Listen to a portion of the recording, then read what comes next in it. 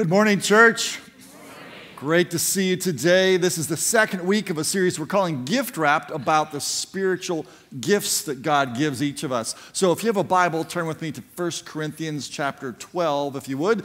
If you don't have a Bible, you can raise your hand and ushers will be glad to pass you one. And if you don't own a Bible, you can keep it so you can keep growing in Christ through the week. Now, last week we talked about the definition of spiritual gifts that a spiritual gift is a special ability or a supernatural ability given to Christians to serve others. So that's what we're talking about during this series. Those kind of abilities given to believers. And uh, the first uh, part of 1 Corinthians 12 tells us that we do have spiritual gifts. If you're a follower of Jesus, you have gifts. The question is, do you know what yours are? And some of us might be ready with that and say, yeah, these are my top three. Others of us might be thinking, I'm not really sure what mine are. And so, as a church, we want to help you to know your spiritual gifts. That's why we've put this tool online. Uh, the, the link is there in your outline, it's up on the screen.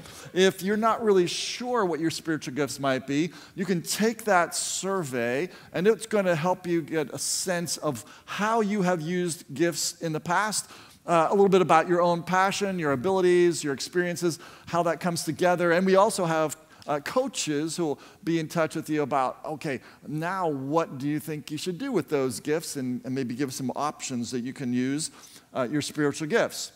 So if you're wondering if this really applies to you, if you're a follower of Jesus, the answer is yes. You are never too young nor too old to use the gifts that God has given you. You're never too inexperienced or too mature in your ministry service that you can't take a fresh look at how God has wired you, where God may be pointing you to serve and make an impact for Jesus. And last week we saw in verse 1 that it's important for us to know about spiritual gifts. And so we did learn a little bit last week about spiritual gifts. But now in verse 12 and following, we're going to see that it's important for us to use our spiritual gifts, and that's what we want to talk about today. Why? Because others are depending on us using our spiritual gifts. Right now, there's about 17 crossroaders in North Carolina, and they're doing hurricane recovery work. Uh, when Hurricane Florence rammed North Carolina, over 11,000 homes were deeply damaged or destroyed. And so, for many of those residents, life has not gotten back to normal yet. Our team is down there doing hurricane recovery work in the name of Jesus. It's really um, an exciting thing to know that they are being the hands and feet of Jesus in that area. Because when that hurricane went through, and people returned to their homes to see them badly damaged. A number of those residents didn't have insurance or the financial ability to contract, you know, for work to be done. And I'm sure that a number of those residents prayed and said, God, we don't know what to do. Help us. Well, isn't it exciting to know that crossroaders are one small part of God's answer to those prayers? That they are there helping those who need to have the ability to recover. And, how are they doing that? They're doing it by using their spiritual gifts. Because there's a couple on that team that had the idea and the vision to go and to do this work. They were using the gift of leadership. Then there was others who had the gift of administration. They were able to, to plan out what needed to be done by what time, get the materials together. Some had the gifts of mercy. They're able to relate to the, to the residents there in a way that will be with compassion and encouraging those folks. They're all using the gifts of helps or service as they're doing the tasks needed to help get those homes back up and uh, in good shape. And some of them are, they're, they're also using natural talents like construction ability, which I admire because I don't have any of that. When I went on a hurricane recovery trip, my role was to hold things for people that had those other abilities. You know, that was my role. Uh, but you see, they're using their spiritual gifts, and God is at work through them in response to the needs that are in North Carolina. Spiritual gifts are not just about hurricane recovery, though, uh, they are about needs being met every single day, no matter where we are. You see, uh, there are people around you this week that are lonely. There are people who are spiritually immature. They need guidance and direction to know how to grow in Christ. There's some who are far from God and need to come into a relationship with Christ. There are all kinds of needs we're going to see. And God's people are the answers when they use their spiritual gifts. So, why is it that it's important for us to use our gifts? Because others are depending on us using them. And God's purposes also depend on us using our gifts. You see, God has plans, He has, he has a, desire to be at work in the world right now. He wants to see fewer people who are hungry and sick. He wants to see more people who are well fed and healthy. He wants to see less suffering, more blessing. How do we know this? Because the Bible tells us this. He wants to see the kingdom of God come on the earth. That is, the kingdom is life when God's in charge. He wants to see more of the way his kingdom's to work happening on the earth than it is right now. And how is it going to happen? When people use their spiritual gifts, when followers of Jesus use the special abilities that God has given them through the Holy Spirit. That's how it's going to happen. Jeanne Nutter, not long ago, went for a walk. She took her dog with her, and she ended up becoming a hero. She didn't even get down to the bottom of her driveway when she saw a girl standing off. Uh, and when they locked eyes, the little girl said, I need help. Well, it turns out that little girl was 13 year old Jayme Closs. Three months earlier, a gunman had entered her home, killed her parents, and abducted her. And for three months, the police had been searching the region and couldn't find her. Her church had been praying daily for Jayme to be brought back safely. In fact, just 24 hours before this occurred, uh, one of the church members brought a binder filled with prayers and put it on the desk there at school that Jayme occupied. And she said, We have just been asking God, please, please bring Jayme back. Well, when Jeanne heard Jayme say, I need help, something kicked in into Jeanne's mind. You see, it just so happened that, well, the cabin that Jayme had been held in was on bordered the property that Jeanne lived on. And when her captor took off to get some supplies, Jayme finally snuck out of the cabin. And the first person she came across was Jeanne. It just so happens that Jeanne is a licensed social worker and that she had been specially trained in child protection procedures. And so when Jayme said, I need help, Jeanne's mind went into overdrive, went right to her training, and she said, Kids need to be safe. Get them to a safe place first, ask questions later. The cabin's not a safe place. She can't go back there. I've got to get her to a safe place. And she did. And Jayme was rescued, reunited with the rest of her family. The police arrested uh, that gunman. And it all happened because Jayme was in trouble. God's people prayed. God answered through Jeanne. What if Jeanne, though, had not used her training, had not used the gift of compassion that God had given her and the spiritual gift of mercy? What if she would have just said uh, instead Sorry, you need some help? Uh, I'm off duty right now. Uh, see me at my office on Monday morning. What if she would have said, You know, I'm just walking my dog right now. Um, I really can't get involved. It doesn't bear thinking about, does it? But you see, when God's people use their spiritual gifts, God's will becomes done more on the earth than it is otherwise. And that's why it matters that we use our spiritual gifts because God's purposes are dependent on that, on that. Because you see, the primary way that God shows up on the earth today is through his people. That's why we are called the body of Christ as the church. When Jesus ascended back to heaven, he's no longer physically on the earth, but he's active in the earth. And he's, he's active through the people of God, the body of Christ. And so, we read here in verses 12 to 14 Just as a body, though one, has many parts, but all of its many parts form one body, so it is with Christ. For we were all baptized by one Spirit so as to form one body, whether Jews or Gentiles, slave or free.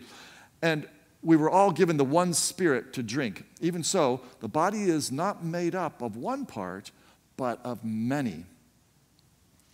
Many parts. That is, the people of God all have many different gifts, passions, desires, abilities, and yet they all, when activated, work for God's purposes to be done on the earth. Now, think about this. What if a part of your body decides it doesn't want to work anymore? You know, what if your pancreas says, you know, I'm taking the day off today? Uh, that could be trouble. What if your foot says, I'm tired of being walked on? I'm taking today off. You're not going to like that result, right? The body of Christ needs all the parts operating. Ryan Shazier was a linebacker for the Pittsburgh Steelers until he was severely injured. At that point, he couldn't walk, his legs just didn't work. Now, he worked really hard for a long time. And because of his great conditioning, he was able to once again get up onto his feet. And today, he is walking without uh, being helped and without aid. And he even has a dream of playing football again. But regardless, the key is now his legs are responding to what his brain is telling him. Because you see, for a long time, his brain would say, Walk, legs, and the legs didn't do it. And that really uh, uh, altered Ryan's life in a profound, profound ways, right? He couldn't do what he wanted to do.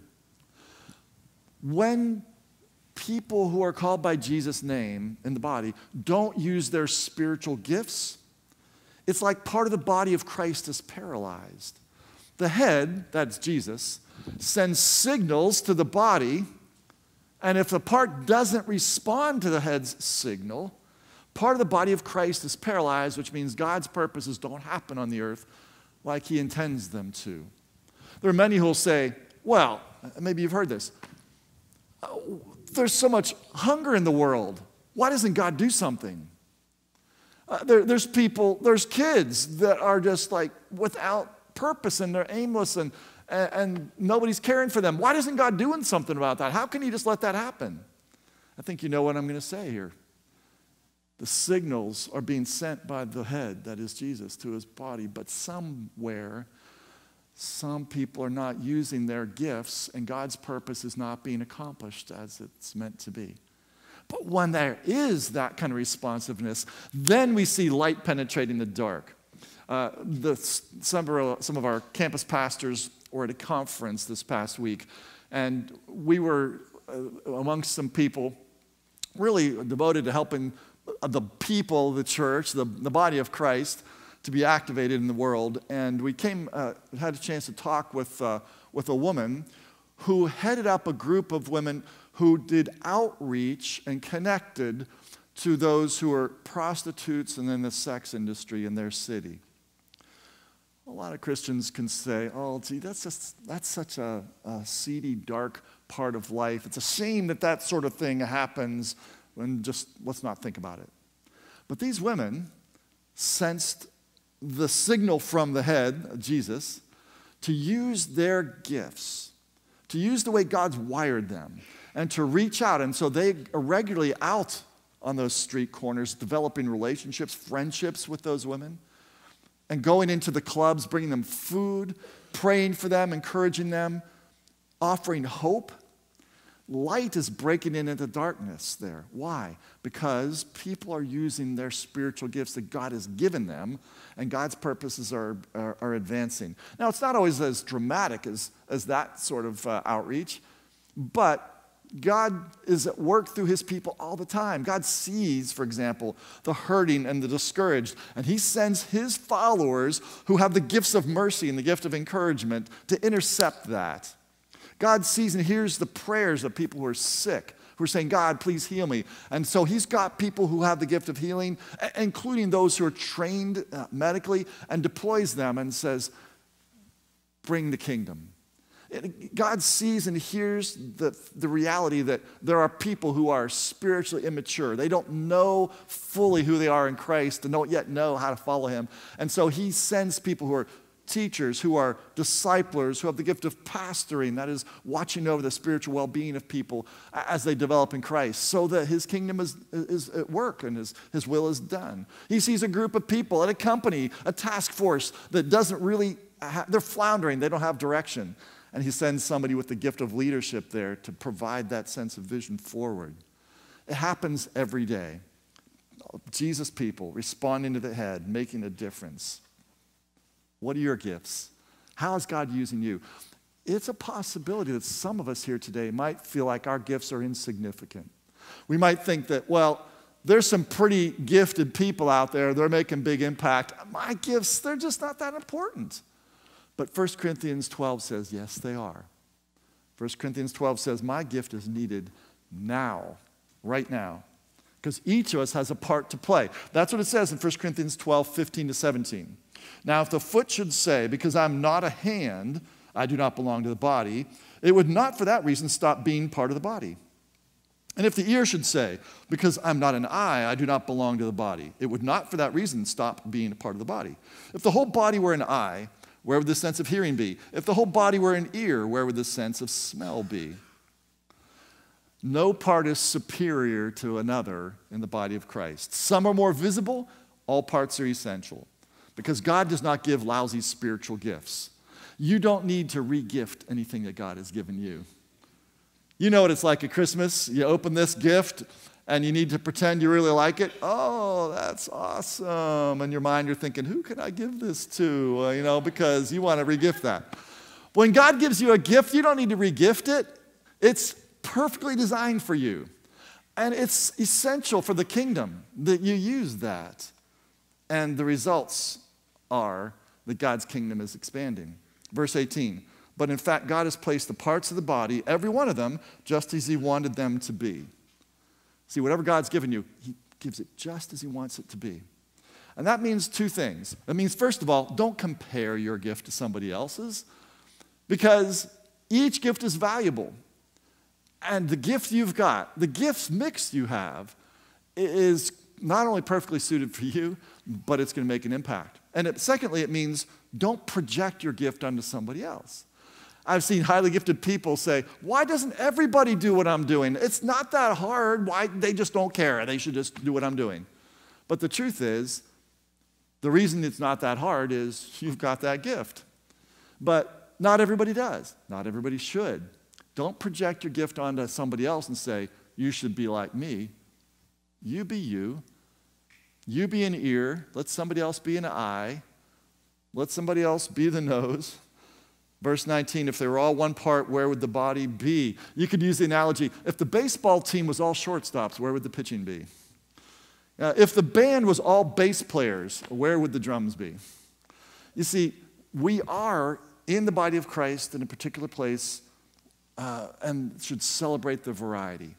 Verse 21 The eye cannot say to the hand, I don't need you, and the hand, head cannot say to the feet, I don't need you.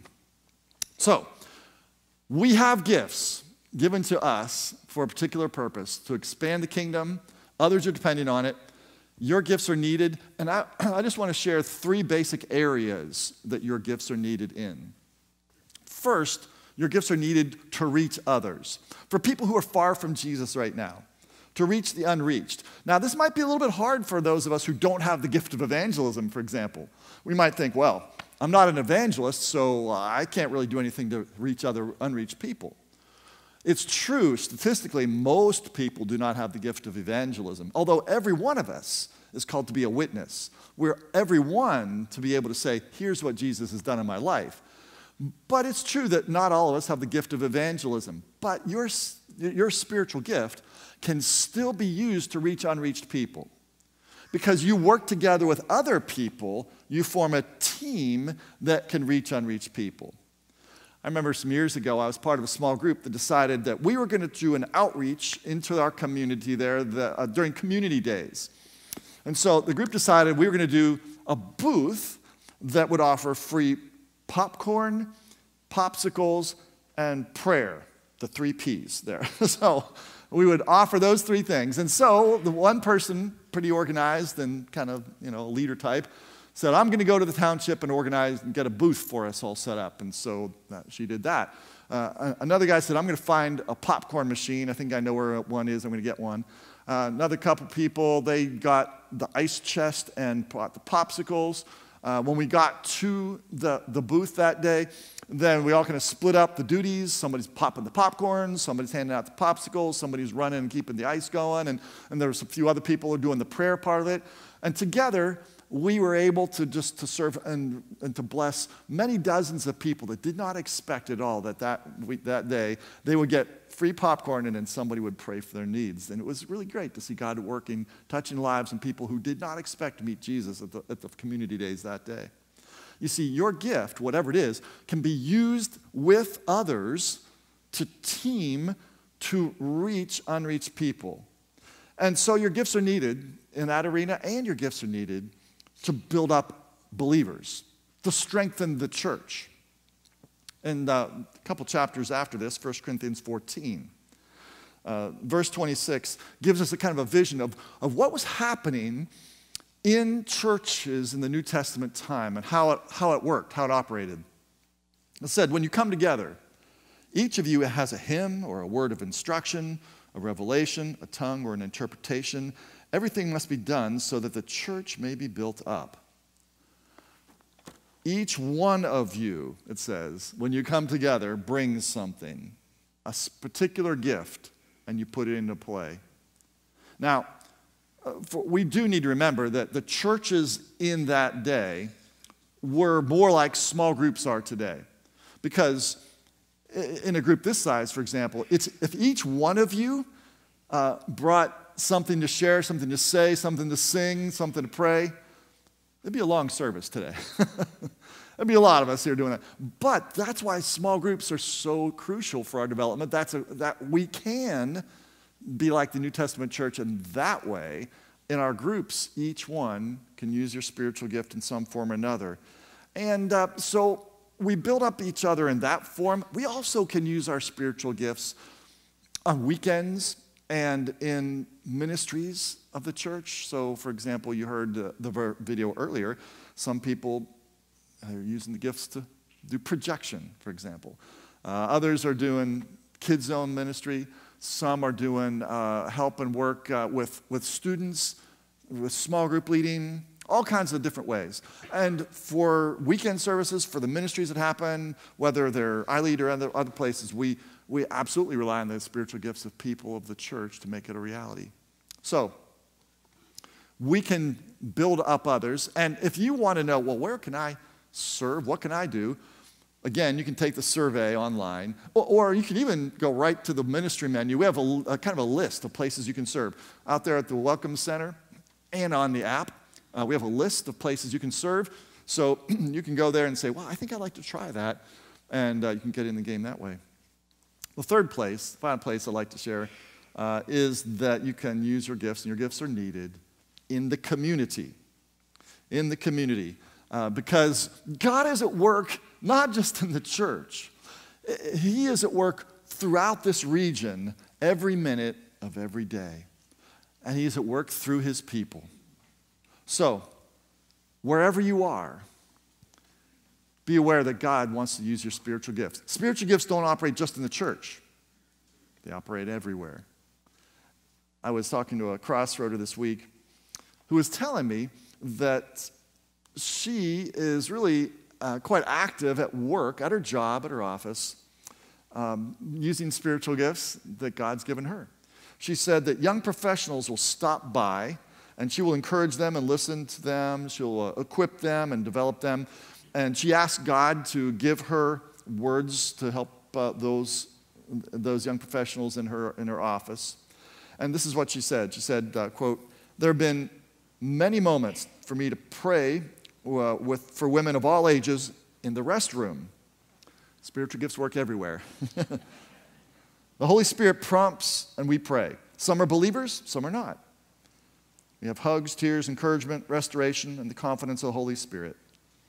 Some moments are prayers of joy, some are prayers for healing, I've been told by our executives that I am the pastor for our young professionals group.